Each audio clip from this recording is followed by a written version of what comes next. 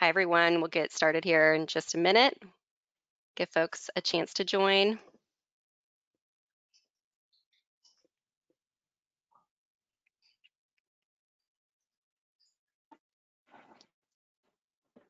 Okay, looks like we've got a good group joining us, so we'll go ahead and get started. Um, hi, everyone. Welcome and thank you for joining us. My name is Kaya Swift. I'm the marketing director here at Heller Consulting, and today's topic is Microsoft Paths for Nonprofits. Before we get started, I'll cover a few housekeeping items. All attendee lines have been muted to ensure high quality audio. Today's webinar will run until 2 p.m. Eastern Time and a recording will be sent to you tomorrow. And finally, thank you to those who have submitted questions already. If you have a question that comes up during today's conversation, please post that in the chat. I will be monitoring it throughout and I will try to get to all of them in the Q&A session at the end of today's hour. And with that, I am absolutely thrilled to introduce the guests that we have today. The first person I'm going to introduce is Andy, who is the head of technology and transformation at the Greater Chicago Food Depository. Um, Andy, we're so excited to have you here today. If you could please tell us a little bit about yourself and the Greater Chicago Food Depository. Hi, uh, I'm Andy Cycle. Um, I am uh, with the Greater Chicago Food Depository. I uh, have been uh, with the Food Depository since 2019. Uh, prior to that, I spent uh, almost 30 years in consulting in corporate America and uh, decided I wanted to spend this point in my career in something more mission focused. And I was welcomed by the leadership team at the Greater Chicago Food Depository. So I'm really happy to be there. Um, as my title implies, I'm head of technology and transformation. And the reason for that transformation part of the title is we're really trying to embrace data and systems to make our work better, more effective than we have in the past. And we all know that um, there's there's lots of examples of organizations trying to use systems in different ways, but not necessarily getting the benefit that they uh, intended out of those things. And so the transformation journey is really about people, process, and technology and how we use the data. And so that's really kind of the focus of my role. Really happy to be here with you.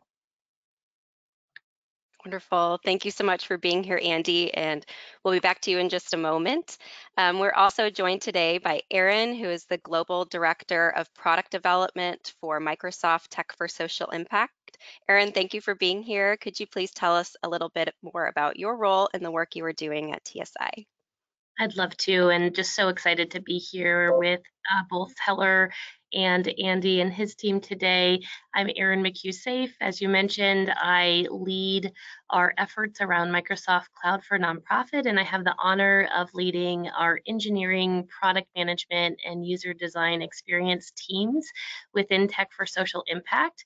I have spent um, over 20 years uh, building products uh, across both the nonprofit and the commercial space, uh, largely uh, focused on building uh, user-based experiences that organizations um, can really use to transform their business operations, better use data, and really have a more efficient way of spending more time on their programs and missions. And uh, with that, I, the, my passion for being here at Microsoft um, and working with this team uh, grows by the day. Uh, as Andy mentioned, so much of the opportunity uh, in the sector today um, and continuing continuing forward um, is around how we are enabling the technology that nonprofit workers and their supporters will use today, um, but also over the coming decades. And so excited about the conversation today.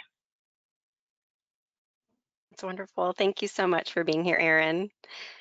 And uh, finally, I'm joined by two members of Team Heller today. Uh, we have with us Jeffrey, who is our CEO, and Jet, who is our Director of Business Development. We'll be hearing more from Jeffrey later, but for now, I'm going to turn it over to Jet. Thank you so much, Kaya. Um, for our agenda today, I'll be sharing a little information to put the conversation with Andy and Erin into uh, better context. Um, I'm going to start out with some brief background on how Microsoft has been changing the technology landscape for nonprofits from our perspective here at Heller Consulting. Um, I'll share uh, some of our technology selection methodology that we've developed to help our clients navigate the options in the marketplace. Uh, I'll give a high level overview of the process that we participated in with Andy and the Greater Chicago Food Depository in order to select a platform. Uh, and then I'll turn the conversation uh, back over to Jeffrey, Andy, and Erin, where we will spend most of today's time. Um, so, you know, Heller has a philosophy around technology that has driven our approach as an agency for the last 25 years. And that's that when there are more options in the market, nonprofits win. That's why uh, uh, we've developed uh, agnostic strategy and implementation practice uh, to help nonprofits evaluate and select tools and put them in place.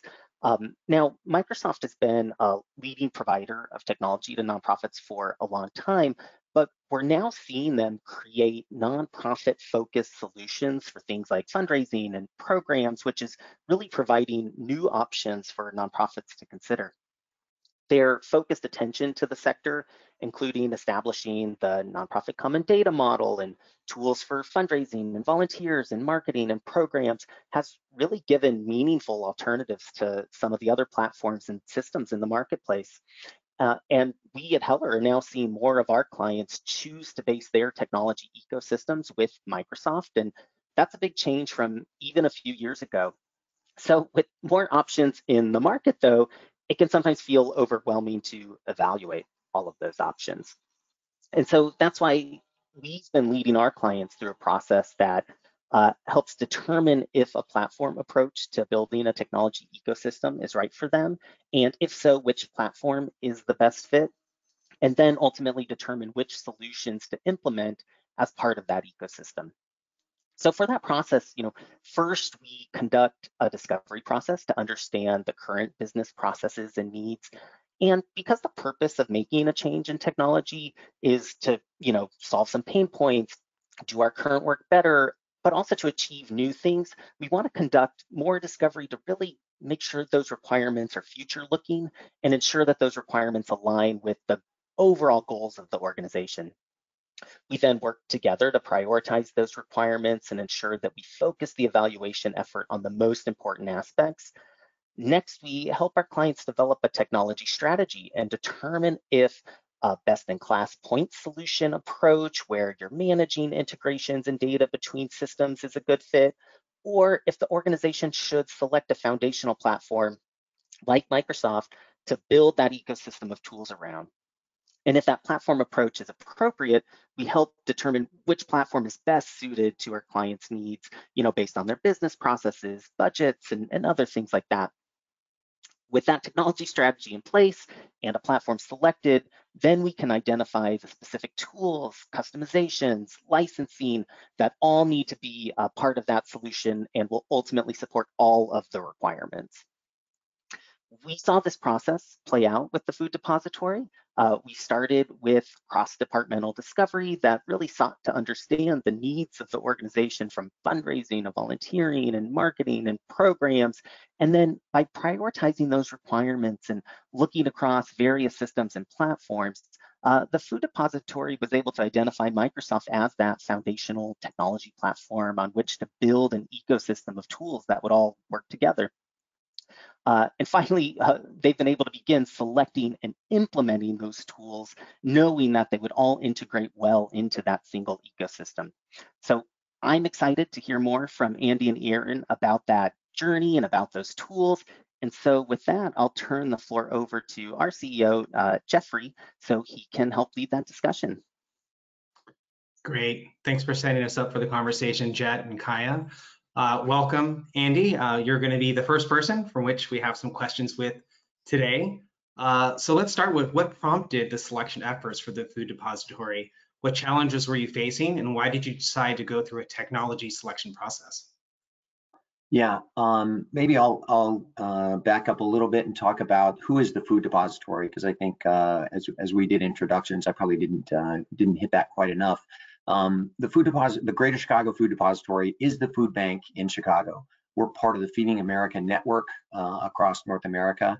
Um, and we are, uh, we work closely with about 700 community organizations to really help our neighbors that are experiencing food insecurity uh, in the Chicago area. Um, and our mission is to end hunger. And our mission to end hunger is a big, complex mission, and that we'll we'll touch on that I know during this conversation. But uh, you know, now to get to your question, you know, kind of why why did we do the technology selection, and how did we get to Microsoft, um, you know, as a direction? When I came to the food depository, one of the first things we did was we we looked at what are the technology needs across the organization. We looked at every department. Um, we looked at where are their gaps, where are their inefficiencies, and uh, not surprisingly, um, we found that there was a lot of opportunity. And we really talked about how can we get better and use data more effectively. And that idea about using data more effectively was particularly challenging in the as is landscape. If you just kind of paint the picture simply, if we have 10 departments, we have 10 different applications, and each of those applications has its own data model, and there's really not much integration between them. And so that's kind of the environment that um, has has been in place for some time. And I think that uh, it's a fairly simple environment to stand up and to maintain. And we didn't have a big um, kind of IT staff, and we didn't really have a senior leader that was focused on how do we get to a better place. The problems that came forward, the things that people asked about were we'd really like to connect the dots across departments and across applications more. But starting from a place where eh, you know each department's application is unique and wasn't built on you know, a, a common data structure or or model um, really made that challenging. So I think it was we recognized the departmental inefficiencies. Um, we saw a lot of opportunities to, to make that better. I'll give you a simple example. I mentioned that we have over 700 partners that we work with, and there are a variety of programs that our partners run that assist our um, community members we didn't have one single place where all those partners and those programs are recorded. We have many of them in our ERP system because our ERP system facilitates us moving food into into the community. But not every program that we support has food. For instance, benefits enrollment is a super important part of what we do.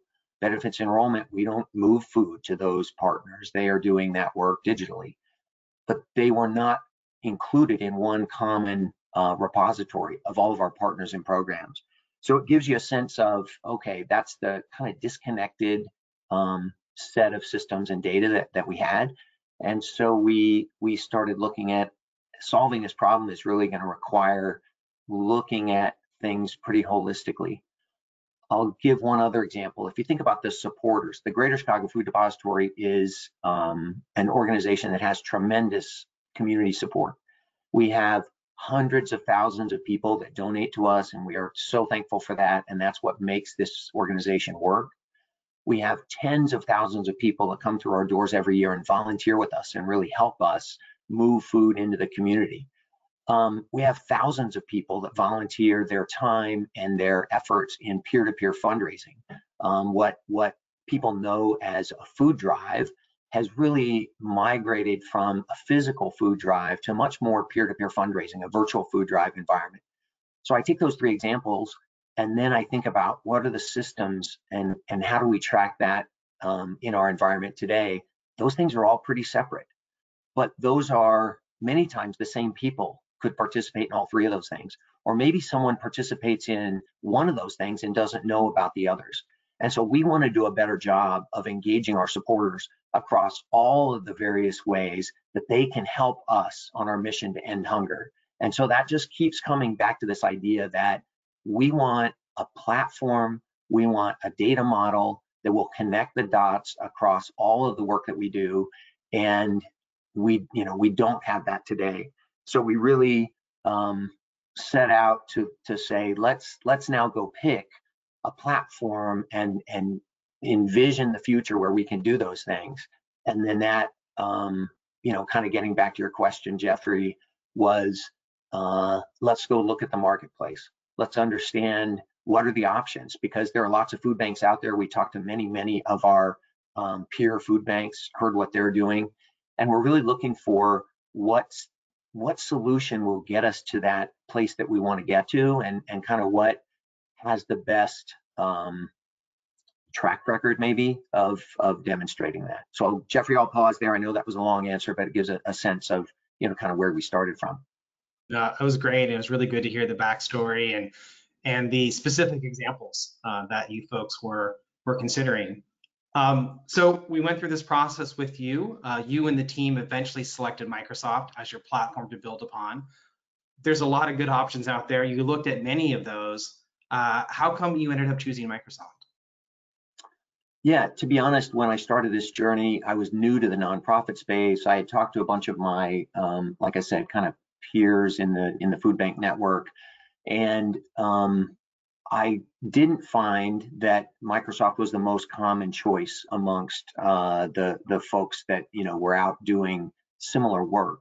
And so I didn't immediately think that this would be where we landed, but I certainly wanted to look at the marketplace holistically. Um, I also recognized that um, we were uh, we're certainly not the first ones to take on this challenge, and so you know us really getting serious about this and engaging in this. Um, lots of people had been down this road.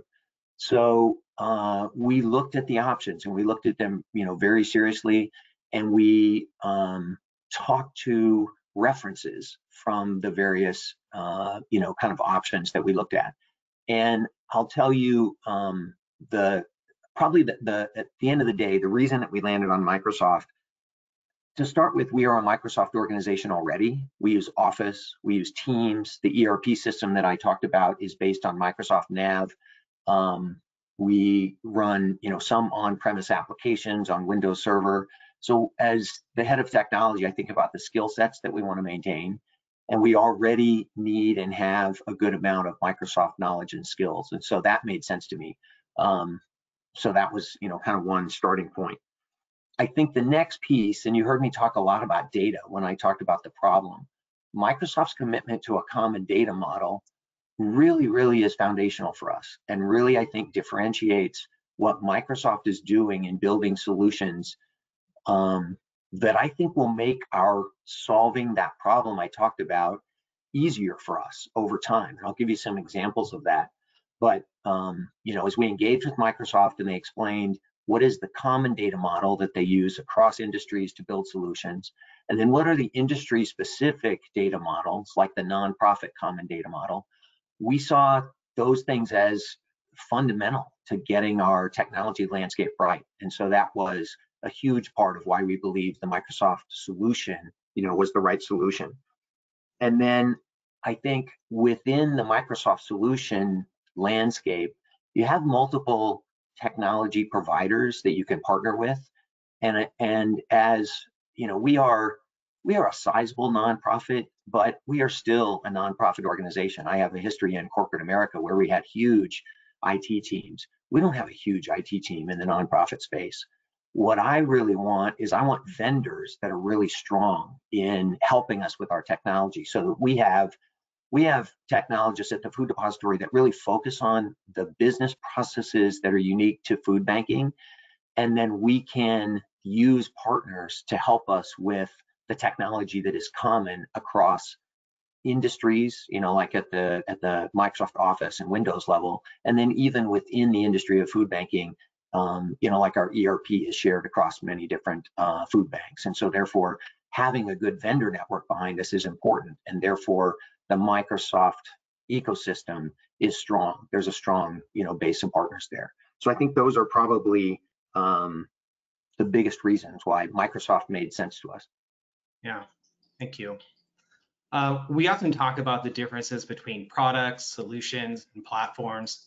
Andy, can you explain the benefit you've seen from first selecting the platform and then moving on to a CRM roadmap project?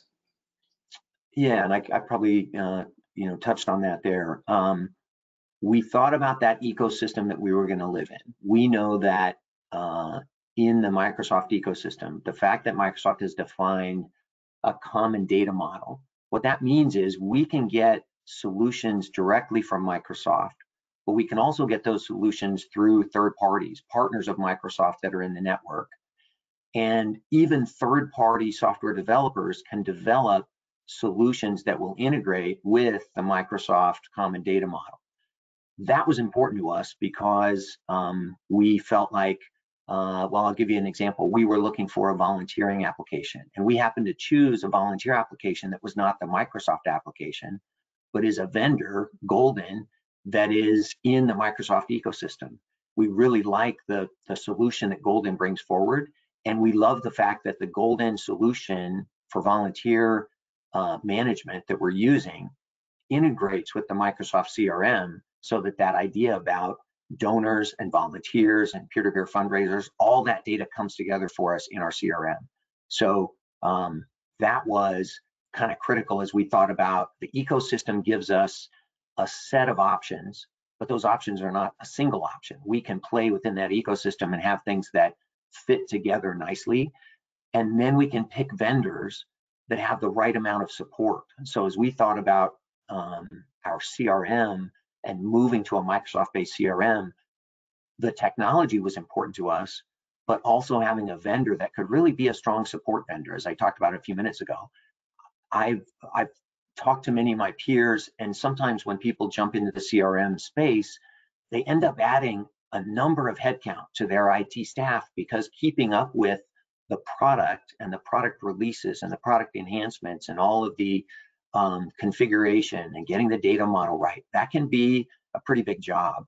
And so as we looked at this, we we decided we like where Microsoft is, we like the roadmap that Microsoft has, but we also want a strong partner that's going to help us manage those things. And we'll limit the number of headcount that we have to have on staff at the food depository, but we'll not limit our ability to stay plugged in to the Microsoft roadmap and all the investments that come from Microsoft. So all those things kind of came together for us to say, let's pick the platform. We'll know that ecosystem that we're playing in, and then let's look at products. And sometimes those products will come directly from Microsoft, and sometimes they'll come from third parties.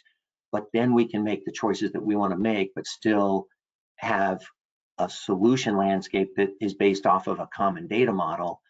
And that will get us to a place where we will not have 10 departments with 10 different applications that don't have integrated data. We will then start to live in a world where our departments will have applications that are optimized for their business function, but the data model will come together in the back, and then we'll be able to see data across departments the way we, we really want to. Yeah. Yeah, well, thank you. And I think my last question for now, uh, before we go to Erin, and, and I think you just partly answered this question, but what do you anticipate will be the biggest impact of this technology change? So this is a journey for us. We know when we started this, this is a this is a multi-year journey. Um, I said as we talked about the food depository, our mission is to end hunger. That's a big, complex mission. We know that, and we're not going to do that alone. Um, and it speaks to the need for us to elevate our game, understand our partners and their strengths and the relationships that exist in this community, so that we can do things tomorrow that we can't do today. I think the inefficiencies that we have today consume much of our time. We want to build a set of business practices on top of a strong uh, technology stack that gets rid of some of the inefficiencies and starts to use data and automation in ways that we don't today. And then that's going to free us up to do things that we can't do today or don't have time to do today. So we're going to learn from our partners. We're going to use the data, collect data, see what it tells us, and then figure out what is the next best thing that we can do. So whether that's working with supporters and trying to nudge supporters to the next best action that we think helps us, you know, move the ball toward toward ending hunger, or just understanding our partners more and figuring out how do all of these individual community organizations that do um, amazing work helping our community how do we become a better partner for them? I think it elevates our game, and that's really that's really the, the journey that we're on. Yeah. Great, thank you. Uh, Erin, I have a few questions uh, for you now. Absolutely. Um, so we heard Andy talk a little bit about the, the CRM roadmap process once they've selected Microsoft. We know there are many different options available for organizations within the Microsoft ecosystem. Can you please explain uh, Microsoft's approach to developing, seeding, and supporting a thriving nonprofit ecosystem? Absolutely, and great to be here, Andy. I uh, love your words of wisdom, and I'll, I'll try to refer back to a few of, uh, of your comments that really stick out for why we're on this journey and, and so excited to partner with organizations like yours. Uh, but to your question, Jeffrey, um, there, there are tremendous a number of opportunities across the Microsoft platform. And I loved the way Andy described their journey of, of um, leveraging data and that being a key and critical goal uh, and focus area for them, as well as your comment about connecting the dots across your organization and across the different workloads that your team members are managing, and even to inspiring your supporters and getting to know your supporters better. Um, that is very much how we think about the platform opportunities that organizations can take advantage on. Um, we have uh, something you'll hear me talk about here called Microsoft Cloud for Nonprofit.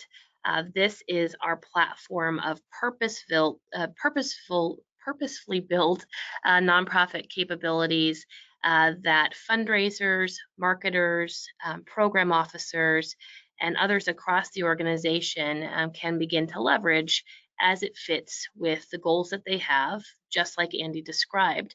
And many organizations are leveraging a subsets of our productivity tools, are leveraging um, our Azure data infrastructure capabilities depending on their needs. So there are many different ways to engage in the platform tools and technology uh, depending on the organization's needs. And it's never a one size fits all approach. And so, you know, what we're looking to do is really build a common set of tools, a common set of applications that have uh, the widest use and the widest value across the, the areas of commonality across organizations. We often talk about this as our commitment to the sector in the form of a nonprofit value map, um, really oriented to, to the jobs to be done that the organization is looking to match to um, to technology. And uh, that is is a really important way that we partner with both organizations and our partner ecosystem to help meet organizations where they are. Uh, the other way that we're a bit different is that we partner with an immense partner ecosystem that are focused on helping go very, very deep um, to help enable technology um, that the organization comes to them with. This is critically important. Uh, we're serving both organizations and a rich partner ecosystem and really looking in both cases to help bring down the overall cost of research and development for that partner ecosystem, as well as the overall uh, total cost of ownership that organizations themselves have to invest in and put forth as they explore how to modernize their technology stacks. Um, and we stay focused really in four key areas um, helping organizations know their donors and supporters, um, helping organizations to develop and deliver more effective um, program delivery, helping organizations through data, insights, and reporting to accelerate their mission outcomes, and doing all of that with the um, critical tools for data and application security. Uh, you'll hear me talk a few times today about security and the importance of that. Great. Well, going a bit deeper into your partners, can you please provide details on the value of the partner ecosystem and how nonprofits can work with partners to adopt solutions? Absolutely. Um, this has one, been uh, one of the most tremendous parts of being at Microsoft is being part of this broader ecosystem. It's every day I'm struck by the number of companies across the globe that are investing in the nonprofit industry. It's it's incredible, um, and we have partners that uh, go very very deep in helping organizations in a particular geography. We have organizations and partners that are very uh, specifically focused on verticals or sub vertical niches, um, mission types that the organization might um, serve. And we have uh, partners that certainly have a horizontal approach to the tools and the applications they build. And we felt um, as Tech for Social Impact is, is coming up to its five year anniversary, the way that we started all of this um, very purposefully was to think about how can we build a foundation, a data foundation, as Andy talked about, that enables those partners to build from common building blocks and accelerate their own investment into the sector, but also help organizations at the same time be able to invest in a platform that will grow with them and a platform where that data layer, that data foundation is something that they can leverage for their own purposes, but also choose best of breed applications depending on their needs. And this is critical. Um, I have never met a nonprofit over my 20 plus years of working in this sector who have applications on a single platform. Now, we hope to deliver the value on our platform um, to make those easy decisions, especially over time. But organizations always have a best of breed set of capabilities that they may need to keep in place that are mission critical. And our job really is to build the connective tissue and the building blocks to help those integrations be easier over time, where the data and the insights we can learn from data gets better and better, and to do that in a cost effective way that doesn't take a, a, a, massive overhaul of every application under the sun, which is just not practical, it's not affordable, and it's really not feasible. Um, so that's what you know gets us excited and out of bed every morning thinking about these complex challenges of how do we build the right hooks into our platform to make it easier for organizations and the partners that serve them to be able to innovate. Great, thank you. Um, I've heard you talk before uh, about Microsoft's commitment to a philosophy of grow as you go. Can you please explain this philosophy? Sure, I'd love to. Um, I think this is again a, a something that is very um, it, it, gives me a lot of energy. I, I, think what we have done with Microsoft Cloud for Nonprofit is put together what we hope is a set of valuable applications uh, packages and um, different solutions that organizations can leverage depending on where they are in their technology journey. And for some organizations, that might be um, starting with a, a, fundraising CRM or um, or modernizing their current approach to fundraising CRM. And for other organizations, that was um, having to completely transform their business overnight to run their whole team remotely um, and needing to leverage tools like Teams um, and, and, leverage um, the cloud in ways that they maybe hadn't been planning for that budget season. And so, grow as you go means that everything under the umbrella of, of Microsoft Cloud for Nonprofit and our company wide three cloud strategy means you, can make a set of choices about what technology you need to focus on right now.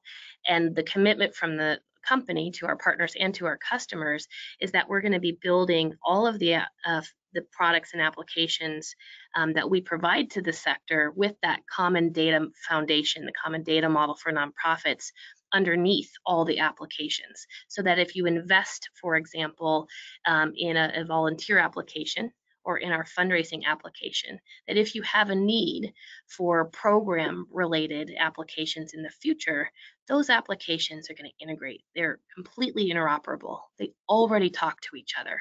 The account and contact uh, entities and structure are the same. This becomes super important um, around areas like marketing. Uh, we share a common data foundation with our fundraising CRM and Dynamics 365 marketing. This becomes so important because there's an enormous team of engineers um, improving and developing that product. And we're able to uh, offer those capabilities to nonprofit partners and organizations um, by integrating um, those applications in a way that keeps um, the investment in a that initial uh, application uh, really moving forward so that organizations are able to benefit from a really um, deep set of investment that Microsoft as a company is making in this priority industry. Um, and that is, is super important. It also helps our engineering teams move faster as well, and those of our partners. Thank you, Erin. I have two final questions for our panelists. Uh, Andy, uh, starting with you, uh, final words of advice for nonprofit leaders who are looking to invest in their organization's technology? Hmm. Um, you know, this is a journey. I talked about that, and I think it's, um, you know, my my years of experience are. It really is about people, process, and technology. It's not just about the technology. You can make a lot of mistakes if you focus on that too much but you can really unlock benefits and and um, new capabilities if you get the data right. And so I think this thinking about the journey, it'll take years to get you know from where we are today to where we want to be, but you know by by thinking long term, that's where we want to be. That's how that's the data model that we want to be on because that's going to enable us to do things across departments um, in ways that we didn't in the past, couldn't in the past. You know, that's um, that's probably the the advice. Uh, you know, think long term about that data model, and don't just think about technology. It's got to be holistic about you know the people transformation. Oh, great advice. Erin, any advice you have for nonprofits looking to start their journeys with with Microsoft? I think we're, we're ready to get started with you um, today. So I would start um, by visiting our website. There you can find a lot of information about uh, all of the great wisdom that Andy shared today, as well as the applications that we have available for the organ for your organization, as well as ways to connect with our partner ecosystem. And so there's a treasure trove of information there. Um, I would also share that we have um, a tremendous, tremendous uh, philanthropies arm of the company. And so a big part of our business model is um, also providing uh, grants and discounted software and services across the global nonprofit sector. And you can find out more about ways to engage on, on that very critical philanthropic side of the business on the website as well. And we hope that there are ways that we can help um, both with your technology needs, but also potentially with um, philanthropic opportunities that might be a match for your mission. All right, thank you both. Uh, we will now be opening it up to questions from the audience. So I'll turn it back over to Kaya to ask those questions. Wonderful. And thank you so much, Erin and Andy. Um, we have several, several, several questions from the audience. We won't get to all of them, but um, I have quite a few for Andy. Um, Andy, the first one is I had several variations of this question, and it boils down to uh, for you, what did Microsoft bring to the table that was different from Salesforce? Um, I would say the data model. When I when I talked to people that had been down the Salesforce road, I heard a lot of stories of trying to figure out the data model and and different pieces of the application landscape not necessarily integrating as easily as they had hoped. And the Microsoft Common Data Model, and that's really uh, why I was talking about that, um, is I think it, to me it seems to be defined better such that multiple parties can develop to it and uh, minimize the work on us. And so, you know, that's sort of the promise of of the common data model from Microsoft and the vendors in that network. And so it was um, as as we because we of course looked at Salesforce. I mean, uh, I would say Salesforce has first mover advantage in the nonprofit space for CRM. Um, but but for us, trying to talk to our peers and find out how had that gone, it was hard to find um, maybe what I was hoping to find, which was you know a story of yeah, this came together nicely for us, and it wasn't a heavy as heavy of a lift for us. And so I think that's I think that's the fundamental you know piece for me. The other piece is, and I talked about this in in the why Microsoft. We already use Microsoft in so many places that continuing to build on Microsoft minimizes the number of skills I have to maintain in my IT organization And so that just that just makes it easier for me as a nonprofit technology leader to say I can I can reduce the number of skill sets I have to maintain. Thank you, Andy. Um, on that staffing question, actually, somebody was asking too about um, how are you approaching staffing for this sort of digital transformation effort, if you have any advice around staffing or supporting your staff through something like this. Yeah, really good question. So um, my background before I came to the food depository was in consulting. And as I looked at the work that was ahead of us, it was very clear to me that we're going to go through a bunch of projects, and each project is going to create incremental work. And then when that project is over, that incremental work goes away and you get back to kind of sustaining. And what that told me was there's going to be third party involvement for us. We're going to go find partners in the marketplace that are strong and that can help us through the project work and then we'll get to a place where this is the staff that we need to sustain our our you know application landscape and and you know do do the IT support function that um, you know that everybody has to do. So the way we are thinking about staffing, um, well, even preceding staffing, we went and developed actually got some partners to help us, but developed a methodology for doing projects so that it became clear how do you do, how do you run a project successfully and how do I incorporate the appropriate change management into those projects? So we developed a methodology, then we staffed project managers and many of our project managers are contract project managers and they come in and they do a project or a couple of projects with us. Um, and then we engage third parties and, and Heller is a third party that we found when we had a particular project that needed, you know, a particular skill set. And the first the first project we did with Heller really had to do with um, tuning up our gift processing in our current environment. We were just we were way too manual and now we're doing gift processing. And so Heller came in and we really re-engineered that space. And I got to know Jeffrey and his team and they have continued to help us through what we talked about here, which is more of our platform selection. But I think, you know, that core thing about staffing is I recognize that um, we are, for instance, in the CRM space, I have a CRM IT lead, and that person is going to be core in this project front to back so that um, you know she's really going to learn the the application and be ready to support the business. But i also talked about our partner and we were careful in in our partner selection. We're working with stratus live and stratus live will enable us to minimize our internal headcount because what they do is they focus on supporting nonprofits with the Microsoft CRM stack. And that's part of what we contracted with them. So they are they are um, a big part of the, of course, the project, but also our long-term support. And so I wanted to be sure that I had a partner that wasn't just going to do the project with me and go away. I wanted a partner that was going to be with me long term. And so that was all part of the thinking around how we are, are staffing to be successful here.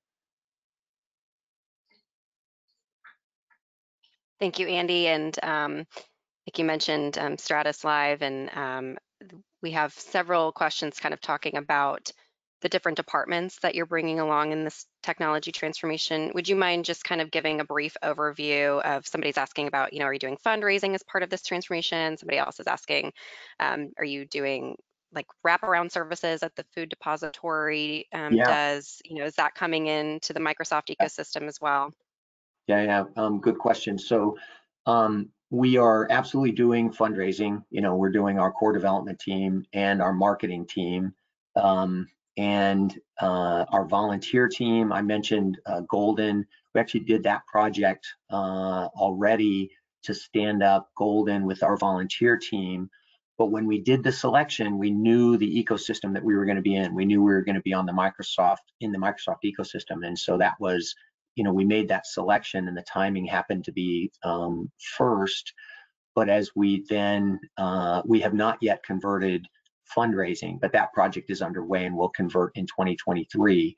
And when that converts, we will plug in our peer-to-peer -peer fundraising, um, our volunteer management, and all of our marketing and uh, fundraising all uh, you know in that space a project we haven't tackled yet but is super important to what the work that we do is advocacy and so if you think about you know how we engage in changing policy to, you know, again, this mission to end hunger. We haven't tackled that area yet, but when we tackle it, we'll use the same principles, which which are um, finding partners and solutions within the Microsoft ecosystem, so that those solutions will um, play nicely in, you know, in the uh, environment that we're working in. Awesome. Thank you, Andy. I'll give you a little bit of a break because I have a question for Erin here. Um, Erin, we have a, a, few people kind of asking, and you had mentioned this um, with, you know, grants and things that Microsoft offers, and um, but some questions around like the price or affordability and getting started. If you, um, one person says we have seven different systems that need to go to one. Um, so what would you suggest um, if people are in that very beginning process of um, determining eh, uh, costs, evaluating costs, and determining what they might need at their organization if they know, okay, we have seven different systems that are just not working for us, and we are interested in Microsoft. Um, what would you suggest as the starting point for them? It's a great question and, and such a fundamental part of the of the journey um, to begin uh, choosing and selecting your path forward. Um, I would recommend partnering uh, with uh, organizations like Heller uh, as you make those assessments. And I would encourage you to um, get engaged, you know, check out um, the Microsoft website. There you can get engaged with specialists who will help you start uh, making those ass assessments right away. Um, total cost of ownership, making sure our tools are affordable for the sector is a core part of our strategy. Um, we do get feedback um, and we have a, a, a thriving partner our ecosystem that keeps us really honest about how we're doing on this front. Um, and they've provided recent feedback that um, th this is also a platform that's very affordable. Look, we're we're working and um, delivering technology value for the nonprofit sector. That means we have a responsibility to uh, ensure um, that this is an affordable path forward, um, so that you can plan now, but have staying power in the platform that you choose um, is critically important. And so for many organizations, they're going to be able to take advantage of a wealth of different offers and discounts. For example, um, we provide um, Azure discounts, modern workplace discounts, Dynamics and Power Platform discounts um, across the board, uh, different discounts and offers around Microsoft Cloud for Nonprofit for every application that we develop. And those options are um, are pretty extensive, and our specialists are be happy to make sure that those are really brought forward quickly, um, so that you have a sense uh, for the overall cost of ownership. Um, so. Uh, follow up with uh, your industry consultants and follow up with our teams, and we'll help get you started right away. Wonderful. Thank you, Erin. Um, Andy, I have a question for you about um, communication throughout the project. Um, so you had talked about, you know, supporting your staff and um, how you're approaching staffing. Um, but do you have any advice around communicating throughout a large project like this? Um, and uh, yeah, said, what's your biggest communication challenge right now um, as you're building out a large tech ecosystem? Uh, I would say that um, when I started this journey we did this kind of IT needs assessment, and, and what came out of that were a, a, list of projects. And honestly, there were 50 projects probably on that list. And it was in total something we called the IT roadmap.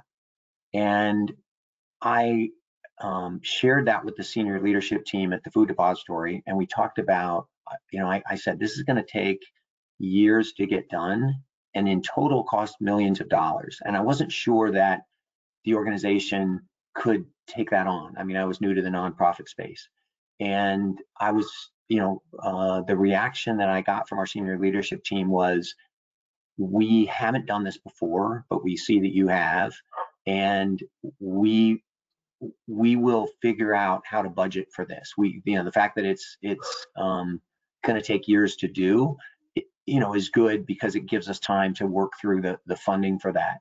And I tell that story to say communication here started at the very highest level. And we presented that story to the board. So the board was on board, you know, with with what we're doing. And so from the very beginning, we've had really good senior support. And then with that senior support, um, I give an update once a month to that senior leadership team on exactly where we are across the active projects. We, you know, as I said, there were probably 50 projects on that list and we've finished some and we have some in process at, you know, at any given time. And so there's just a, there's regular, I think, good awareness about what's happening. But then within any project, and this really gets at the project methodology, in the very first phase of a project, you have to identify all of your stakeholders. And that's one of the things we try to be very disciplined about is identify all the stakeholders and come up with an appropriate communication plan. And so in the first phase of any change management journey, you have to have awareness. And so you have to know who all those people are and they have to understand the why of why are we doing these things. And so um, that communication started at the most senior level but then at the project level affects you know individuals in a, in a department across departments you know just the, the very specific people that are going to be engaged in that project and then we try and keep that communication going of course throughout the whole project to make sure that we are successful at getting the successful change adopted by our people um, so that's you know probably more words than than than the uh, person might have been asking but uh, that's you know communication has just got to be fundamental to making sure everyone understands what we're doing, why we're doing it, and we have the right level of support um, to be successful with the change. Absolutely. Yeah, we've, yeah, that's absolutely critical. Um, it's wonderful advice. Thank you, Andy. Um, and Andy, I'm going to stick with you. I'm sorry, we have lots of questions for you. Um, but somebody's asking about data governance. Um, have you established sort of a data governance plan for this project? Um, do you have sort of one source of data truth across the project or across the organization? Yeah, great, great question. So I didn't talk about we are building a data warehouse and we're using, you know, Azure Data Factory and Azure DevOps and Power BI. Like we're, we're sticking with the Microsoft platform as we build our, our data warehouse. And what we're doing with the data warehouse, um, we're, we're taking a use case. And so we're, we have a specific use case that is our first use case and we're standing that up. And as we introduce data to the data warehouse, we are looking upstream to see what is the source systems for that data and looking at data governance there. When we first put our IT roadmap project together, there was a project on there and it talked about standing up a data maintenance organization and, and data governance and trying to make that a project. And I hesitated to launch that project because the business outcome of that project is a little bit hard to justify. I think everybody who knows technology and data knows that that's important. But what we're what we're really trying to do is say, as we take on projects, we are looking at the data governance for those what I call enterprise data elements and making sure we get those in place. And as we tackle each individual project, we are getting the data stewards and the data governance stood up for those functions. What I think will happen actually in this, probably in the next 12 months, we have we've done some brainstorming on what does an analytics and data governance function look like at the food depository, and so we've we've drafted that, but we haven't staffed it. Some of the staffing of that are people that are already here because we have people that kind of informally do some of that work but some of that will be incremental staffing. And so I think as we get deeper into our project roadmap, there just comes a time when it, when you really have to formalize that into one central organization. So, so great question. I don't know that we're doing it the best of you know the best way, but I'm telling you the way we're thinking about it. We're trying to tackle it project by project, and and likely this year we will centralize that so we get better centralized data governance and stewardship practices, you know, in one place, but that'll be federated across the departments because much of the data is managed in those departments. And so, um, yeah, it's finding that right balance between central and, and federated, I think. Absolutely. Um, Erin, I have a, a, question for you. You had mentioned security as being a, a top priority. Um, so just general curiosity from some folks about um, you know, why is security, why should security be top of mind um, for nonprofits and what is uh, Microsoft doing to support that um, through the nonprofit specific solutions that you're developing?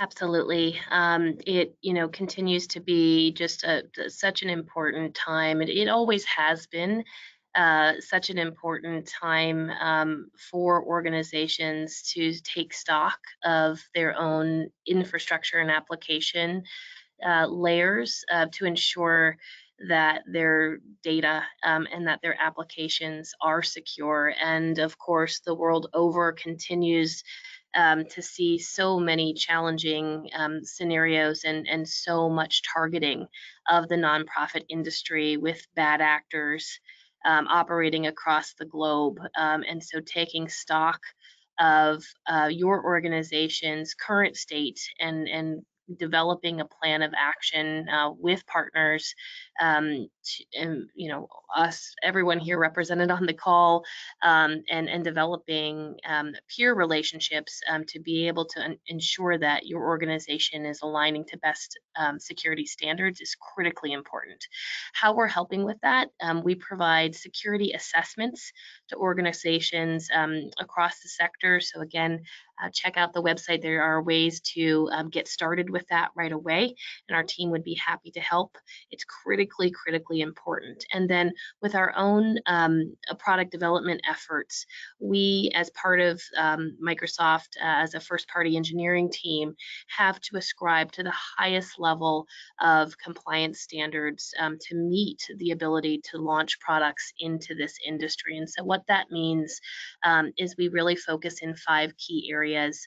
Uh, we focus on accessibility, on data privacy, on data security, on global readiness, um, and uh, all in all, you know, that relates to our uh, software development lifecycle and our um, our standards of security, um, disaster recovery, uh, our BCDR programs, and to meet the bar at the company is quite quite extensive um, and requires um, a serious commitment of investment.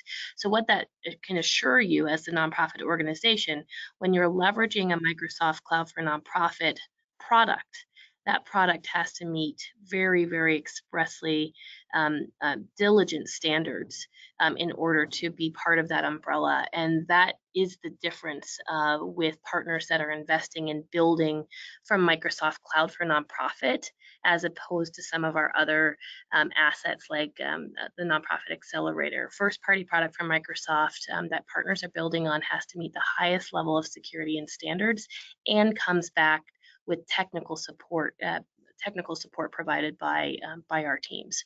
So, um, let, you know, if you need help in this area, I would recommend getting started with a security assessment and progressing down that path. Wonderful information. Thank you, Erin.